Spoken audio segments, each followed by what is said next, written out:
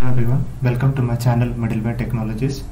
Today we'll be looking at how we can install and configure the Postgres SQL database using the Ansible playbook and the respective module uh, for the Postgres Postgres server which we can use in with Ansible. Okay, so let's see like how we can achieve this activity. So here's the basic documentation that I have prepared for the step-by-step -step procedure that we can carry out to install and configure the Postgres SQL database. Okay, so let's see like how we can achieve this task, task using this step-by-step -step procedure. So as a first step, like I'm trying to get the operating system platform on which we are installing the Postgres database. So let me go into my terminal and show you the playbook that we have prepared. So you can see like there are two tabs over here. So ansible controller and ansible manager node. So ansible controller controller is the server on which i have my ansible installed. And ansible manager node uh, is the server on which we are going to install the postgres database. I've already like uh, set up the ssh configuration so i'll be able to ssh onto the manager node. uh, from the from my uh, Ansible controller. So that is a basic step uh, you need to carry out so that you can connect to your manager node okay. So let me show you the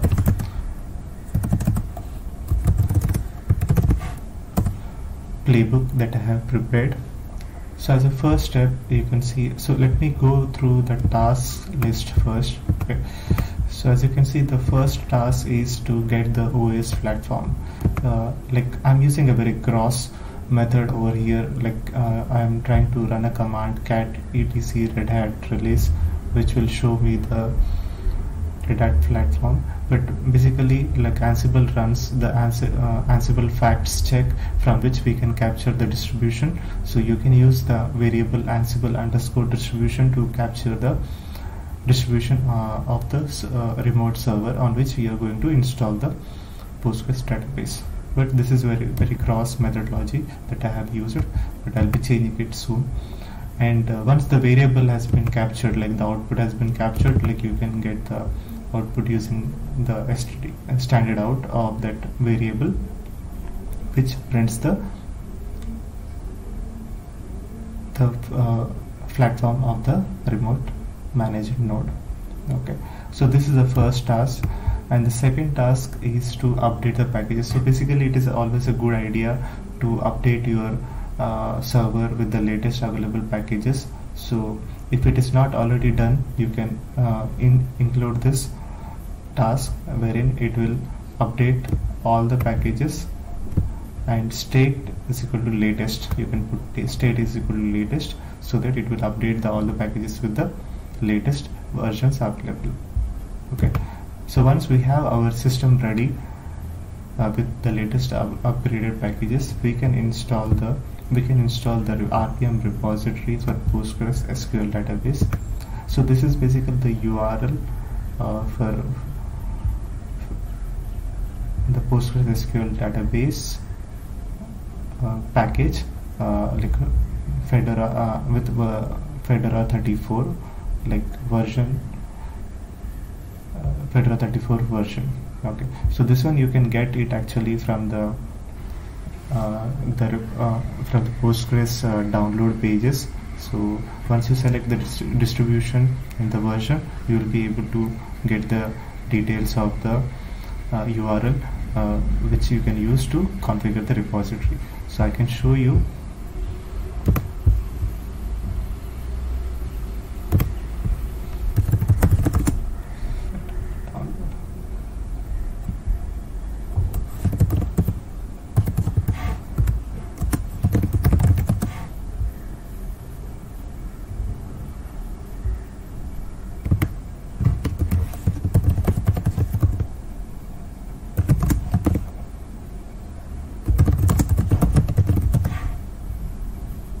you can search for Postgres SQL package download and it will take you to the the page wherein you can get the instructions for uh, getting the RPM packages for downloading the Postgres SQL database. So if I select the Linux and under this I am using the Fedora machine so I'll use Red Hat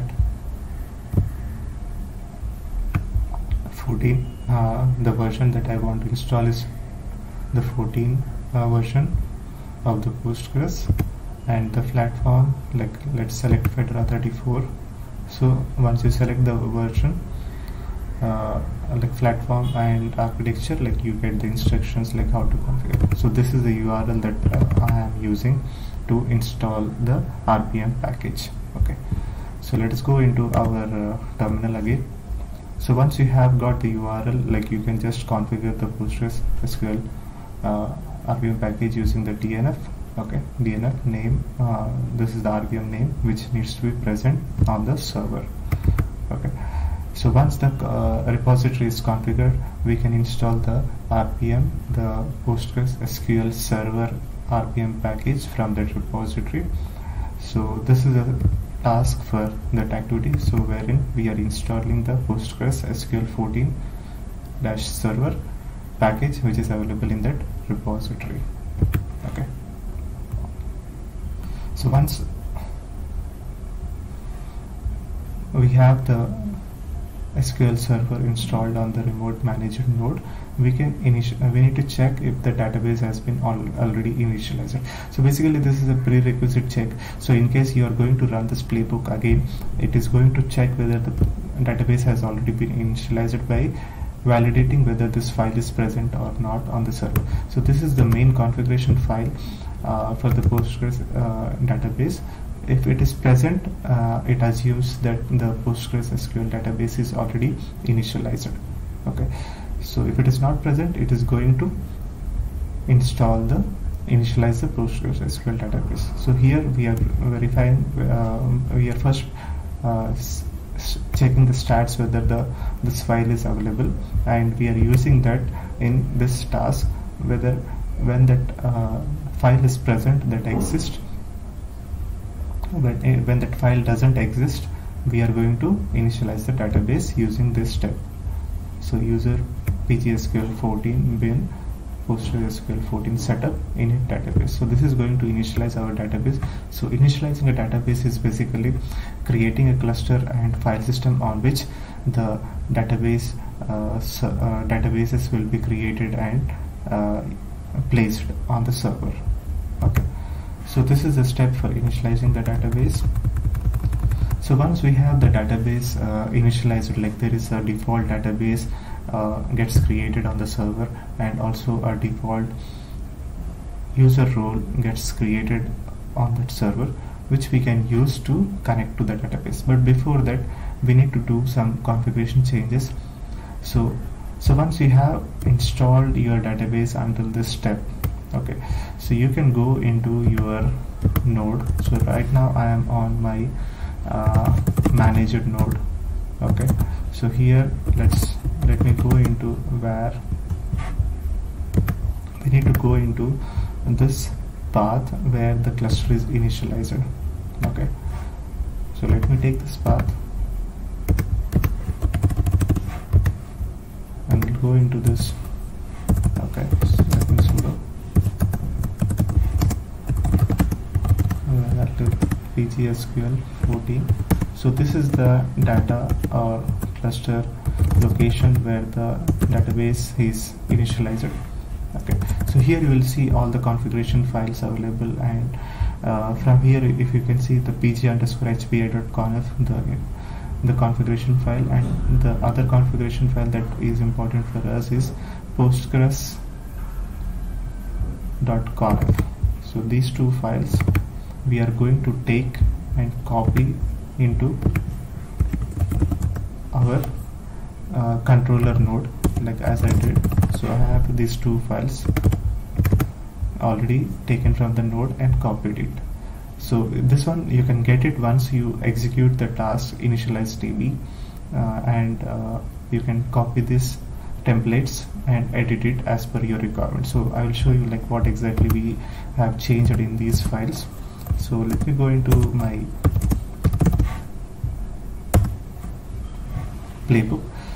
So here you can see like we need to allow the remote connections to the PostgreSQL database. Okay. So by default the PostgreSQL database doesn't allow for remote connection. So we need to edit this pg underscore hba.conf file to make sure that we are able to connect to the remote uh, database remotely. Okay so let me show you what changes I have did in this file pg underscore hba so in order to connect from remote we need to allow all hosts uh, like we need to allow uh, allow all access to everyone. Like this basically 0.0.0.0 means allow access from all the uh, remote allow access from all the remote clients. Okay and uh, md5 means it will uh, allow access using the basic authentication method like with user id and password. Okay. So this is going to allow access for all the database uh, all the users and all the database from remo remotely. Okay. And the one more change that we have done is uh, we have changed the method uh, to trust. Uh, we have added uh, for the local so local authentication does not need any password for authentication. So if you are going to connect to your database uh, by logging into that server uh, like uh, the PostgreSQL server you won't need any authentication to be done. So these are the two changes that we have carried out. Let me close this uh, configuration file and open my uh, task so once we have our remote uh, connection configuration uh, like uh, configured in the uh, configuration file like we can copy that file into varlib uh, the cluster where we we have initialized the database. Okay. So once that is done the next step is so uh, like I'm using the Fedora machine so on which the firewall is configured by default and enabled. So in order to so and, and also uh, so this this is actually uh, for the interfaces on which we want to allow the PostgreSQL database to listen. Okay. Uh, so we have uh, like I have only one uh, interface but if you have multiple interfaces you can configure the IP address for the particular interface on which you want to listen for the post uh, on which you want the PostgreSQL database server to listen. Okay. So let me show you that file also like what change we have done so search for listen so listen addresses I have put star. So it basically means it will uh, listen for connections on all the network, uh, network interface cards that are available for that server. Okay. But in case you do not uh, want you can just update it with the IP address of the network interface wherein you want to listen uh, wherein you want the PostgreSQL database uh, to listen for connections okay so so once you have this uh, file configuration changes completed you can just copy using this ansible task uh, module ansible module copy and copy it into the cluster where it is initialized on the remote node. Okay. And now uh, you can start the database service the service name is PostgreSQL 14 and make sure the state is started. So this task will take care of that uh, starting the service of the database on the remote managed node okay. So now uh, the next part is like allowing the PostgreSQL database service. Okay. So by default the firewall will block uh, you to connect to the database from remote uh, server remote uh, client. So for that uh, connection to be allowed we need to allow this service PostgreSQL uh, permanently on that server. So this is going to change uh, this is going to basically run the firewall cmd command uh, to allow add service as allowed and uh, with this with the with that changes like uh, the firewall uh, configuration will be reloaded and you will be able to able to connect to the database from remote client. Okay. So let's see like how this is going to run. And one more thing I wanted to uh, I uh, wanted to mention which I didn't mention initially. So we are running this host using the root okay root user. So so it is basically uh, connects to uh, the remote server and executes this playbook using the root. Uh, this is required because we are installing the rpm packages uh, which requires the root privileges without which we won't be able to install it okay? And the host is set to all but I have only one host uh, that uh, is configured in my inventory. The default inventory file is etc ansible hosts so if you see like I have this uh, remote manager node IP address uh, already uh, kept in this. So it is going to connect only to this server and install the Postgres SQL database.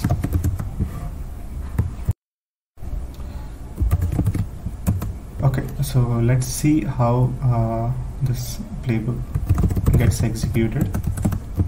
So we are going to use ansible playbook install postgresql.yaml okay.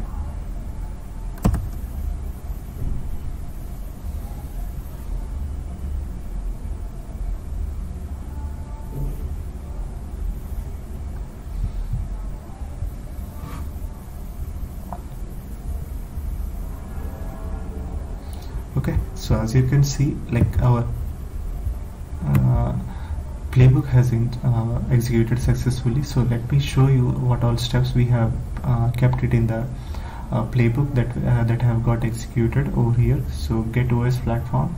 So this is the first task print the distribution. So this is the second task which prints the fedora 33 uh, like platform details from that server. And uh, the third task is configuring the Postgres RPM repository the fourth task that we have included was installing the PostgreSQL server. So these all are showing you okay because that I have already installed it. So if this is the first time that you are going to install you will be having a different output wherein it will show changed on the server. Uh, so it will show like changed rather than okay so this installing the uh, server database initialization uh, checking for the database if it is initialized or not and then initializing the database. So all these tasks are already completed on my server and I have allowed for remote connections and listen, uh, Postgres to listen on all the interfaces. So this is already completed and the service has been started because I just uh, like started the service using the playbook again. And uh, once the service has been started we are allowing the uh, updating the firewall uh, configuration so that it allows for remote connection. Okay. So in short it will show you the play recap like how, how many tasks have been executed or changed and how many have failed. Right now we do not have any failures so we are good for this config uh, installation configuration. Okay. So now that we have our database installed so let's see how we can connect to it using uh, on the server directly. Okay. So as I said like there is a user Postgres already created. Okay. So we can uh, try to connect to uh, the database uh, by logging into that server. So we need to do sudo switch user to Postgres try to run the PSQL tool. Okay. So right now we have connected to the database and you can uh, do slash du. It will show all the user roles that are available and you can do slash l to list all the database that are currently available. Okay. So let us see to create one more database using the ansible playbook itself. Okay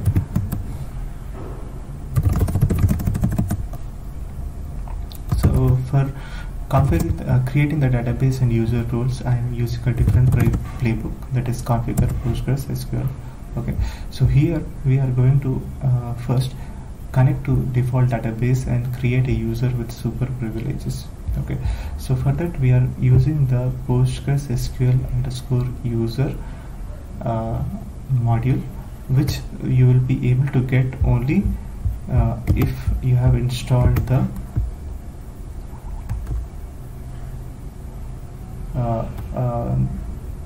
if you install the uh, uh, module uh, which is available in the Ansible. Okay. So let me uh, let me uh, show you it on like you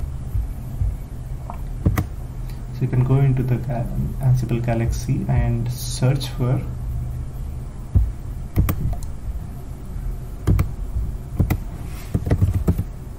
Postgres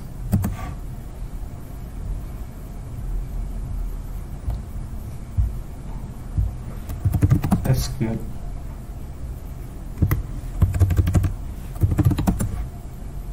okay PostgreSQL you can search. So this is the uh, Ansible module that has been provided by the community. So if you click on this one it will show you the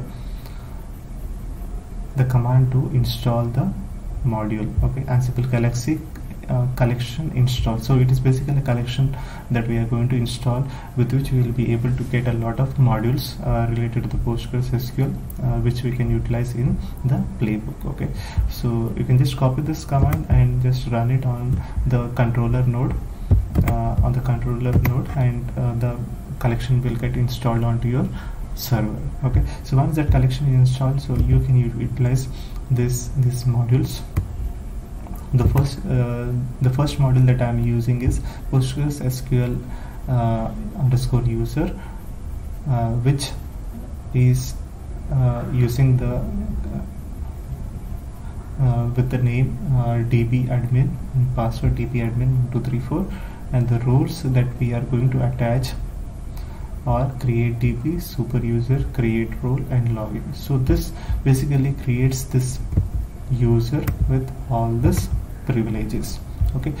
And uh, if you uh, have noticed like I haven't uh, mentioned the connection details for the database because we are going to connect to the default data uh, uh, connect to the database using the default configuration. So it will be using the Postgres default user which doesn't have any password and it will use the uh, default port that is 5432 if in case that uh, your conf uh, port configuration is different you will need to uh, update your uh, if your uh, port configuration or the default user database details are different you need to use these attributes in this module also so that you, you are connected with the right configuration.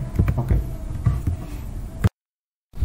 once we have created our uh, user role with the required privileges then we are going to create a new database. Okay. So here let me uh, so let's see uh, like if we can create uh, one more uh, db admin test user with uh, the privilege this privileges and we'll try to connect with db admin test and we are using this module postgres sql underscore db to connect to our database using that super privileges credential user id and create this database. So let me name my database as test database uh, 1234 okay? So this is going to create our database on the remote manager node. So let me run it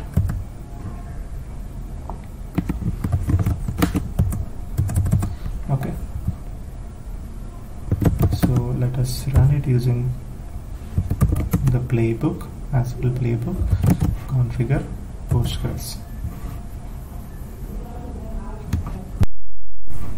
so as you can see the playbook has executed successfully. So the first task is it connected to the data default database and created a user with super privileges and then we created a new database uh, uh, the name is test database 1234 like I have I didn't updated the name of the task so that is fine. And the playbook has uh, uh, has shown the results like we have uh, like changed two of the configurations on the server and okay uh, like there are uh, there are no failures. Okay so let me go into the server and again let us try to run the same commands like du so this is going to show us our new user db admin test and L for listing the database and this is going to show us our new database test database 1234 so this is how uh, like we will be able to use our Ansible playbook to create uh, install and configure the database server on the remote managed node and uh, we'll be able to create new databases and configure new user roles using the uh, the modules which are available in the collection that Ansible uh, PostgreSQL collection which we have installed.